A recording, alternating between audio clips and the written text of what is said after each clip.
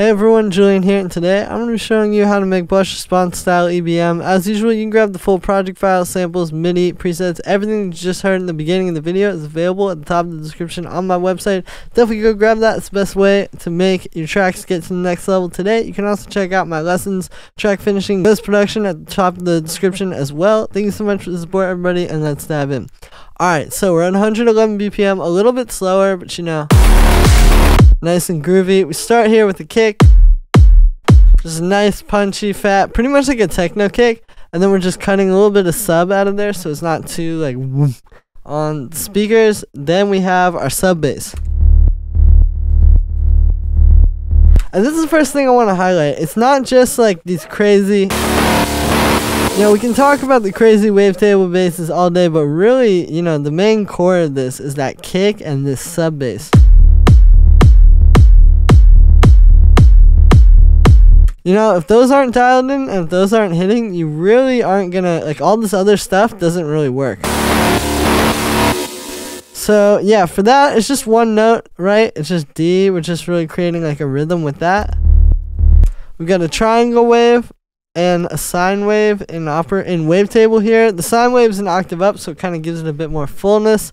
And then we'll bring the amp envelope down like that. There's a little auto pan to make it bounce off the kick, and then cutting the subs, and then we have the main wavetable bass.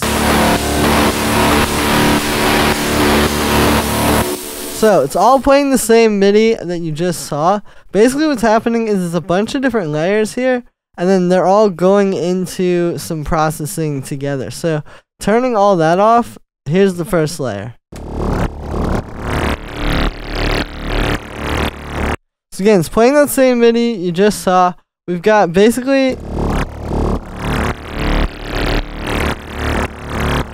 this wavetable here where you can see we've got these two different wavetables and then they're both got their wavetable position. You can see it's put on that macro one, so it's moving those around. And then it's just got the auto pan to make it bounce off the kick. Then we've got this layer. So this is just this one wavetable. You can see it's kind of adding some more like mid-range and crunch. So if you play it with that other one, they layer together well and create something big. This one, so this one we got a bit of automation on the oscillator FM. And then an envelope on the filter and the oscillator position. And then that same auto pan, then we got this layer. So kind of adding like something metallic. This is made with operator. So it's just a bunch of sine waves doing FM with these kind of like short punchy envelopes. You can see with this one we're doing the thing where the second oscillator is a few octaves down from the main one. And see that's really where that metallic tone comes from. We've got a low pass with a sine shaper, a little bit of an envelope, some overdrive, auto pan, and then we're high passing it. And then the last final layer of that bass So this is this operator patch again, just more FM with sine waves, creating these like punchy kind of things. And then we've got a low pass filter with a hard shaper and an envelope. And then this LFO on the filter cutoff, kind of randomly moving it.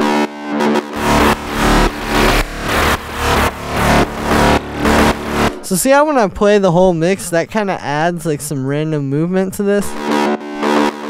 And really brings it to life. We've got a bit of hybrid reverb some auto pan, and then a high pass filter.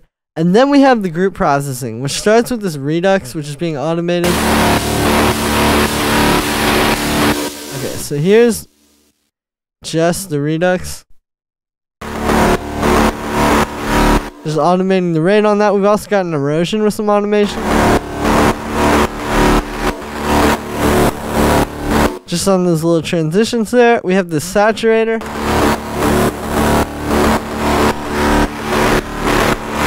We're automating the curve on those transitions. An amp kind of just crunches everything up even more. A little bit of OTT. And then a high pass. Because again, this needs to fit with that sub. So when you high pass them there, it just kind of all blends together really nice. So then we got the snare.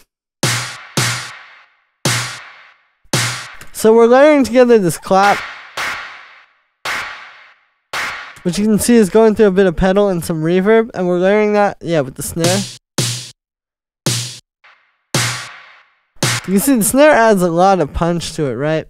Then we've got... So these are like these hi-hats I made with Collision. So it's this patch where it's the noise, and then this resonator too is also noise. And then you can see I've got it set like this. Obviously, this is something you really got to play around with.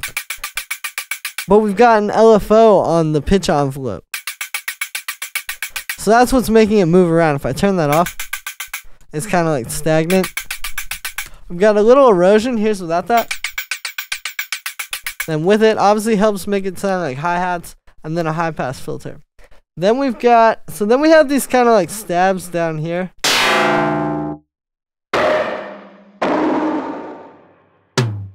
You know, just some little background sounds to contrast what's happening with like the main groove and kind of add a bit of depth. So this is this crazy metallic operator patch. It's just sine waves, again, doing that really crazy FM stuff with the envelopes and the higher octaves. And then we've got, yeah, just a little filter with an envelope. We have some chorus, overdrive, high pass, pretty simple. And then there's these two, which kind of play off of each other. And these are some samples.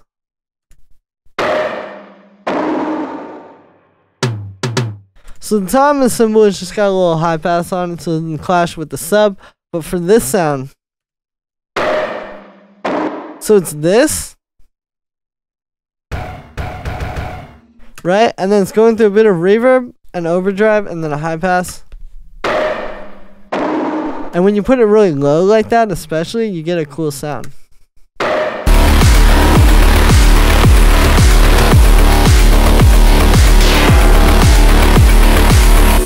And yeah, so that's going to be it for this one. Thank you very much, everybody. Make sure to grab the project files, samples, MIDI, presets. It's all available at the top of the description on my website.